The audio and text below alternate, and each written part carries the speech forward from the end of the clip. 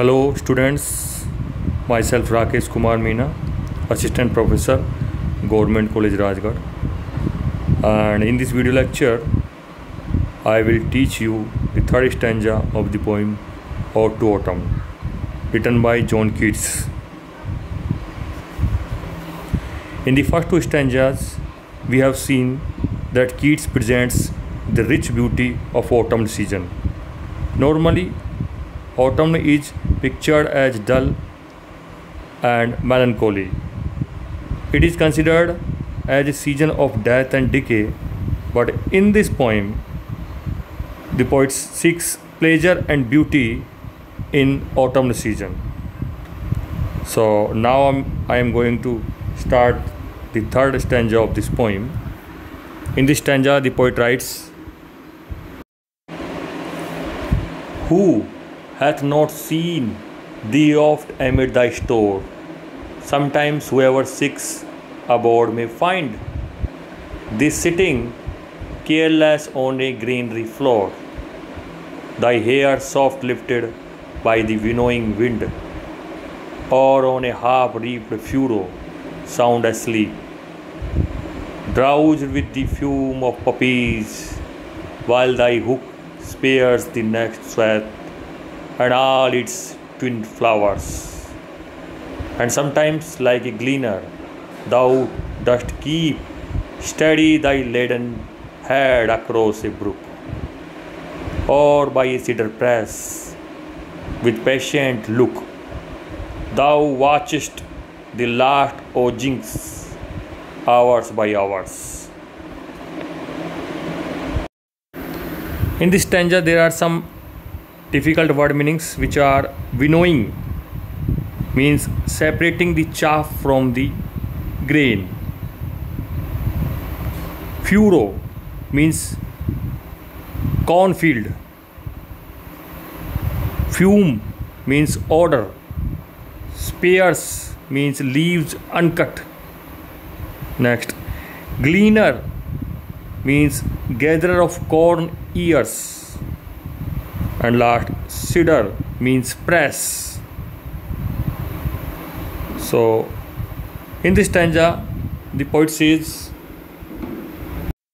Autumn is a very beautiful season. Here, the poet describes the occupations of autumn. Autumn is here personified as a winnower, as a gleaner, as a reaper, and as a cider presser. All these operations, winnowing, reaping, gleaning, and cider pressing, belong to autumn and are here supposed to be performed by women. Autumn is therefore seen here as a woman. First, autumn is seen as a woman doing the work of winnowing, that is, separating the chaff from the grains.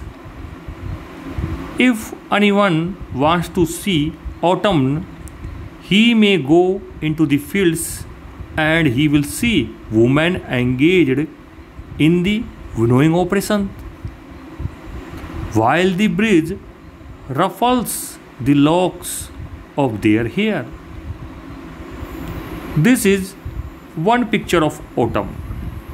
Secondly, we can see autumn in the shape of a reaper who has been engaged in reaping corn but who in the course of her work is so overcome by the sleep inducing smell of poppies that she falls asleep with the result that the next row of corn remains unreaped. Thirdly, autumn may be seen in the character of a gleaner.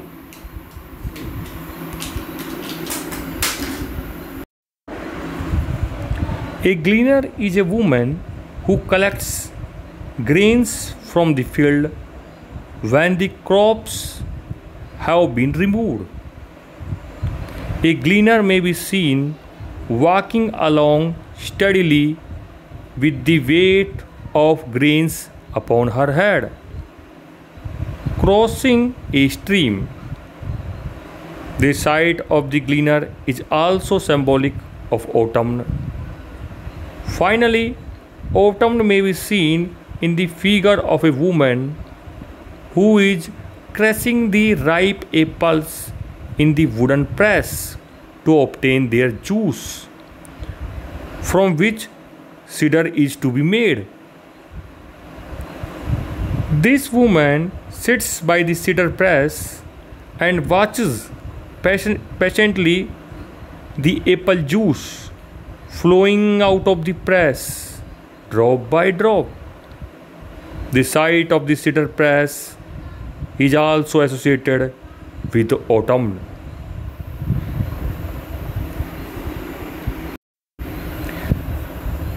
In this stanza, autumn has been given a concrete shape and concrete personality. Autumn is seen in four different guises corresponding to different occupations of the season. Thus, in this stanza, we have a splendid personification of autumn. Autumn is personified as harvester sitting carelessly on the granary floor during the winnowing, a tired reaper fallen asleep in the very midst of his reaping. Next, a gleaner following his walk home across a brook in the evening with a load of sheaves on his head. And the last one is the cider presser watching intently the press that squeezes juice out of fruits.